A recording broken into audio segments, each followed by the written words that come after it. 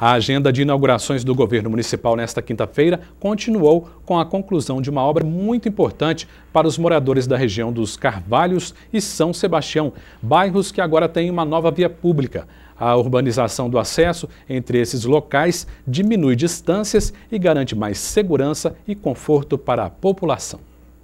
Olha, essa é uma via de ligação que foi idealizada justamente pelo crescimento acelerado que houve dessa região. Qual foi o nosso propósito? É cortar caminho, economizar para as pessoas, principalmente para as crianças que ainda estão se deslocando para ir ao Caique 2, ligando aqui o Jardim Imperial, o Carvalhos, o Cruzeiro do Sul e dentro de alguns dias também o Novo Tempo. Só aí são mais de duas mil famílias que são beneficiadas com essa via de ligação e também possibilitando o acesso dos bairros São Sebastião, né, da, da Cidade Nova, do Jardim Colonial, lá da Vargem, que queira se comunicar com essa outra região da cidade. Então, nós tivemos início no começo do ano passado, porém com o período de chuva, a gente está previsto para terminar no final do ano, em dezembro, e as chuvas que foram muito intensos, nós não conseguimos. E só agora, no novo período da seca, que conseguimos concluir. Foi uma obra importante que esses servidores é, dedicados, experientes, que estão na prefeitura há muito tempo, demonstraram do que são capazes de realizar.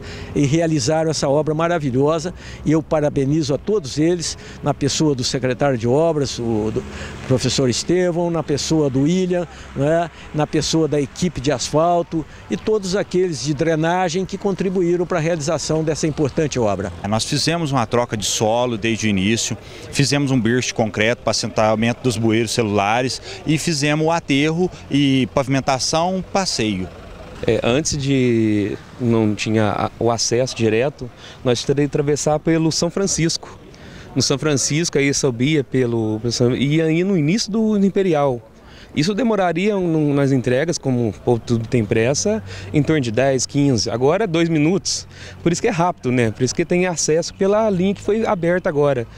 Essa estrada foi aberta, essa, esse caminho foi aberto, facilitou muito nas entregas.